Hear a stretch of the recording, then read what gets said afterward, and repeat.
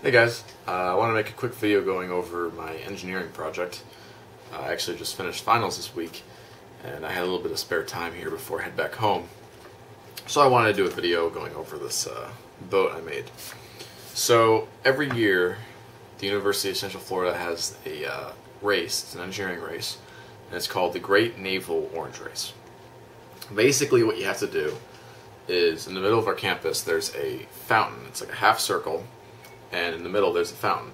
And the objective is to get the boat to carry an orange around the fountain to the other side as fast as possible. So not, not just straight across, I guess, actually go around and come back like a parabola. So I'm like, okay. Um, obviously I wanted to touch on something new because I enjoy like, you know, exploring new things and problem solving. So I decided to make a balsa wood hull, which I've never done before. In fact, I've very rarely work, worked with balsa wood. I think the most I've done on balsa wood is, um, I don't even know if I've even used balsa wood for anything. Maybe putting together one of those little like fly airplanes or something like that. That's about it. So I went ahead and picked up some. Grab this piece here so I can show you. This is the pieces I got it in. Um, I believe it was eighth inch. Yeah, or no, yeah, I got one piece of this eighth inch, and then I got three pieces of 16th inch. This is 16th inch right here.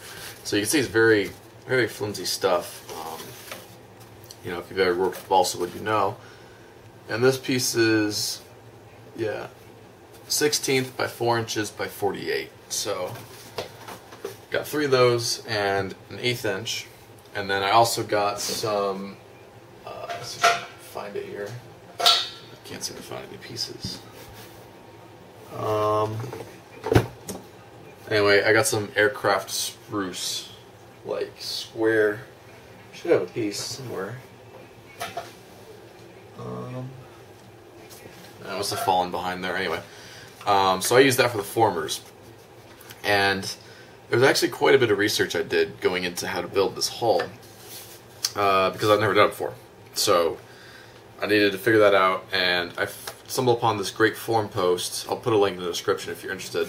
It was basically, I think it was titled Mono 18 inch hull. So, because I wanted a fairly small boat, and I wanted it to be made of balsa wood, and I wanted to know that it was like, you know, good, a good design, because I'm not a boat designer. Um, so I followed this little, they had, it wasn't really tutorials, more like, okay, here's what you need, here's the template for the parts, and then, you know, to glue them together did that. Uh, in fact, I can put I'll probably put some links in the description to the pictures. I took pictures at each stage. So like the first stage, I had formers. Uh, the second stage, um, you know, I, I did the uh, stringers. Um, I took pictures of all these progressions. I might, if I have time, I'll edit it into this video. And from there, you have to plank it. So you can kind of see um, I actually ground away this former here. There's another former up here. You can kind of see part of one here. Uh, there was a lot of modification done to get the electronics to fit in here afterwards, but um, basically start with the frame, then you plank it. So, uh, and you also start with the top. You, so you start with it laying upside down like this, with the two top pieces. You build the formers off of that, and then you do the sides, so along here, and then you do the bottom. Um, so, did all that, sanded it down, smoothed it out, you know, filled it, and then I fiberglassed it. So, picked up, there's different weights to fiberglass. I got three quarter ounce fiberglass. This is little little hobby stuff. It's, it's like seven bucks. And then I got a two part epoxy resin.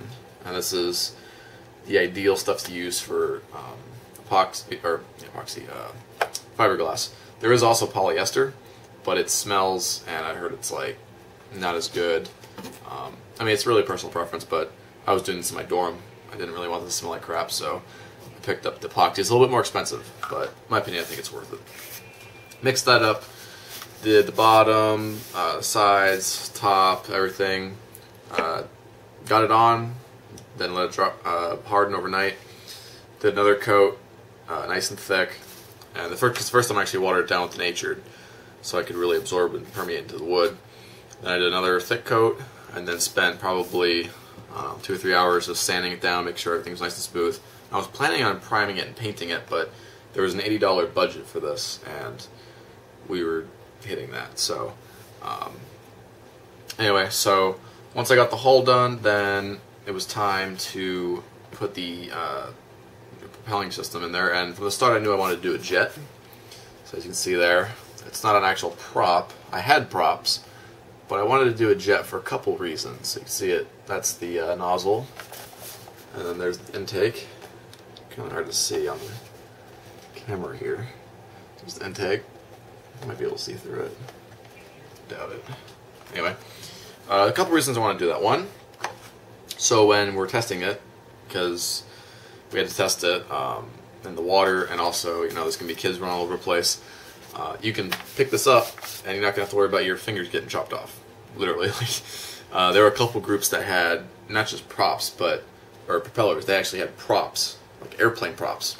No, no uh, cage around it or anything, and they're they're just sitting there like plugging wires and letting it go, and it's like, you know, hitting their fingers. This one group, I think every group member had to get stitches because they kept getting hit by the damn fan. Uh, so I definitely wanted to avoid that. The other main reason I picked the jet is because um, I wanted to be able to control it. So you can see my little servo there. And it's routed in right there with a little connecting rod.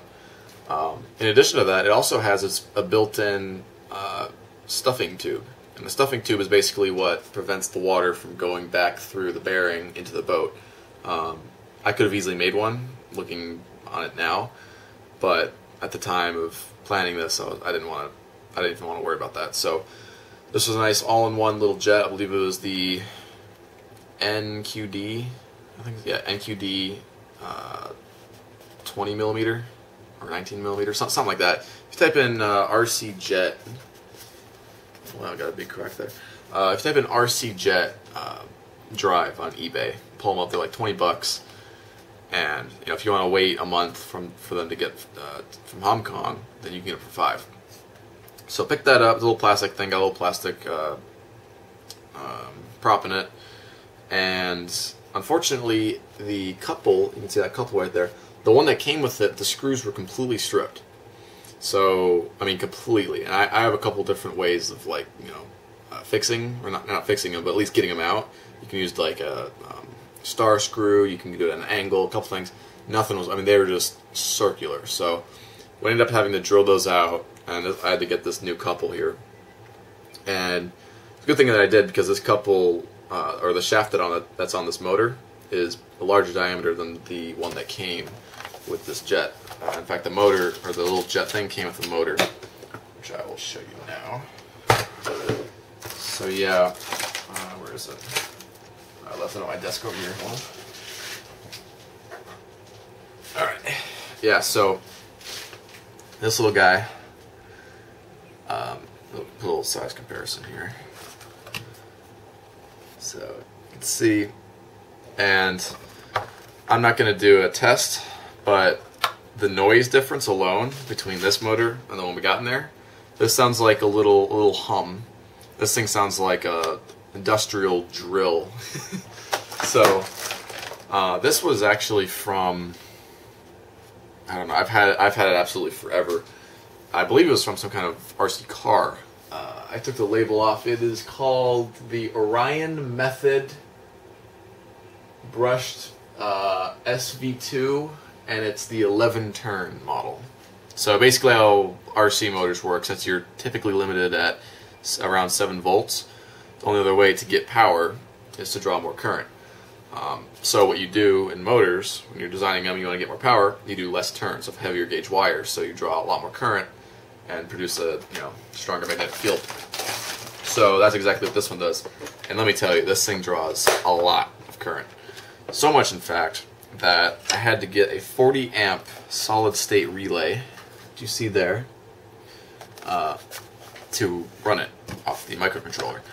Because originally I was working in the lab, I was talking to some other, they're actually seniors that are in there, they were working on some kind of hovercraft. It was, it was essentially a go-kart, um, but it was a Arduino controlled hovercraft, or not hovercraft, um, drone recharging pad. So the idea was, you know, the drone would take off, thing would follow it, it had solar panels on it, so it would charge up, follow it, um, go to a certain point, stop, and then the drone could come land on it and charge. And so they were using, put my box back, but they were using these little MOSFETs that were actually rated for quite a bit. They were rated for, I think, 20 amps continuous. There we go. They're rated for 20 amps continuous. They are, uh, the model number is BUZ10, and they're rated for about 20 amps continuous, and they, they don't draw any current, so they could run off the little Arduino, or not Arduino, um, basic stamp. No problem. And I think their peak was like 50 or 60 amps. It, it was, it seemed plentiful for this. The problem was, if I have my paper, I'm sorry, I'm unprepared for this. Uh, here. Yeah, so I hooked it all up, got a little heatsink and everything. It didn't even start the motor. It started the other motors because I, I ended up troubleshooting it, and it ended up starting other motors, but it wouldn't start this one. And the reason being is that this graph right here, so this is transfer characteristics. So basically how a MOSFET works is you have your gate, your drain, and your source.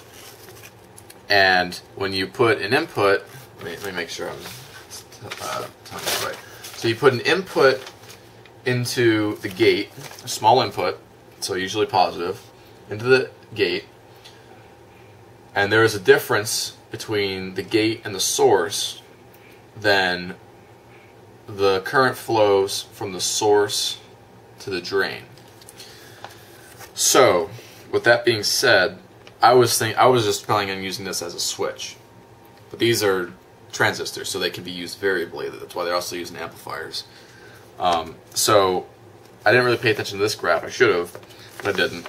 So the little uh, microcontroller I was using can supply five volts. At five volts, that's only giving you about 12 amps. So you see that that's the input, that's the output. Only gives about 12 amps on the output. So like, okay, no problem. I got two batteries, and they're supplying 7 volts. So if I bump it up to 7 volts, that goes way off the graph. That goes off the graph, and it looks like it'll go to around 30 amps. Okay, that might work. So I tried that. Sure enough, it started it, but it wasn't quite getting as much um, power as I was hoping. If you're interested, this is the circuit I was using for that. Um, so it didn't, it wasn't turning it quite as fast as I wanted it to. Uh, it was still limiting the current substantially, which means that this motor draws more than 30 amps.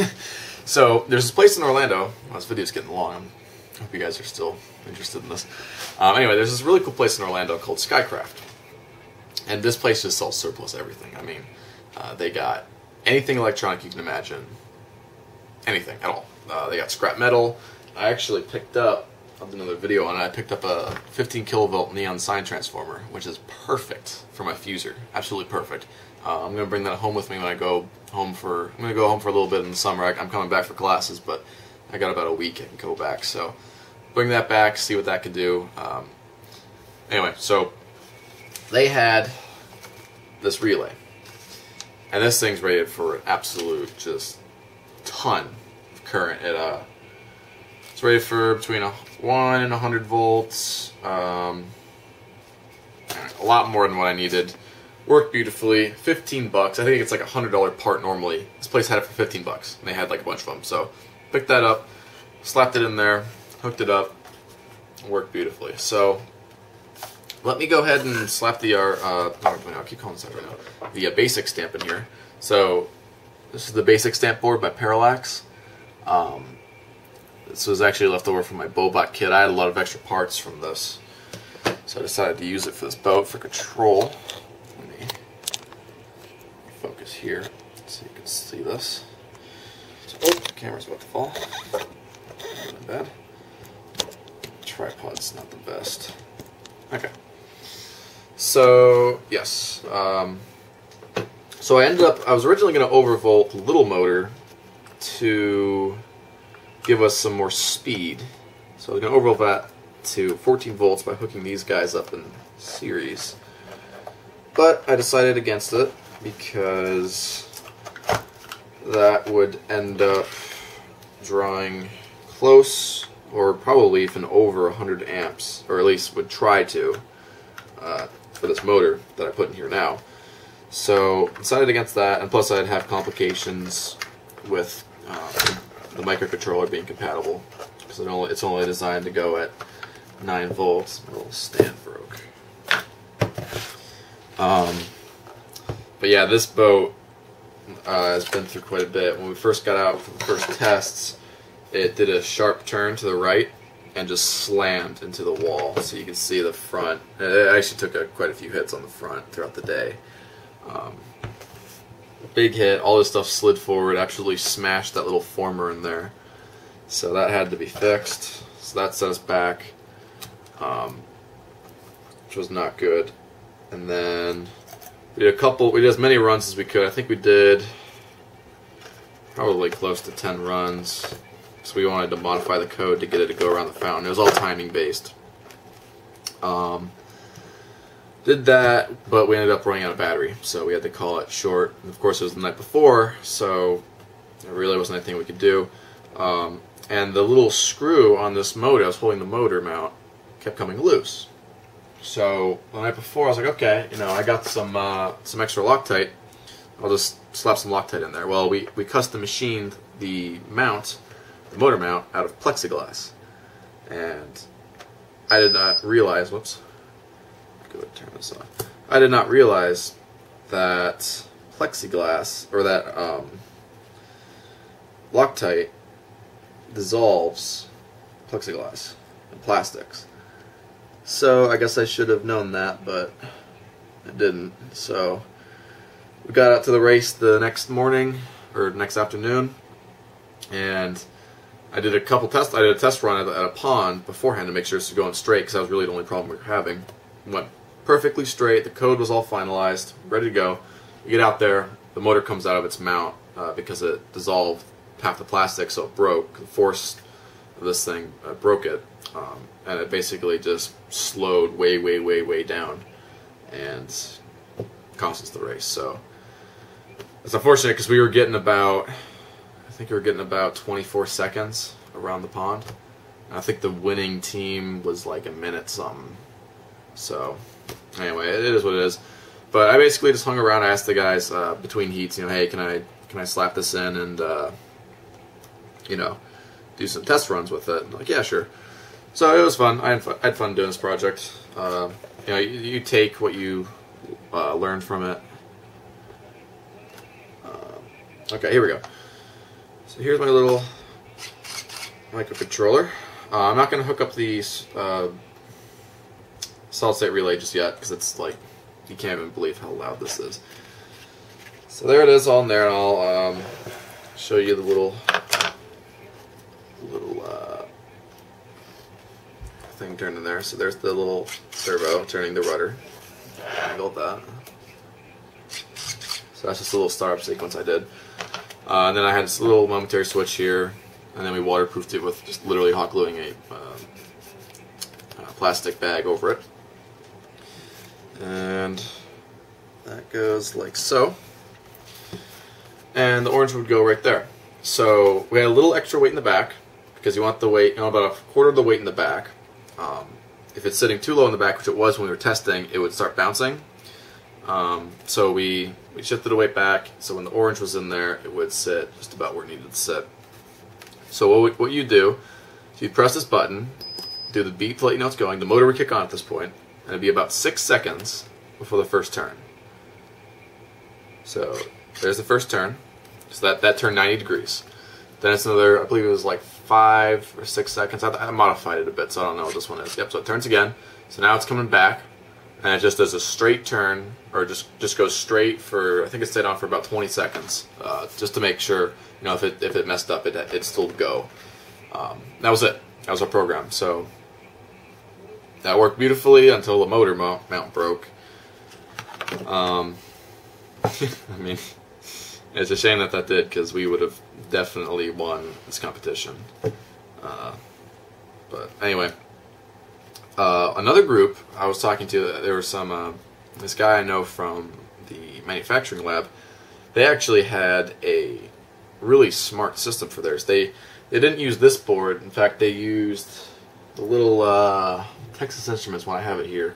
Anyway, it has a built-in gyro in it, so it would actually you know you set it in the water, and it it start that as a, as its reference angle. So every time it turned, it would like it would detect that degree of turn and it'd correct. So you know the fountain would hit it, turn, and it would correct itself.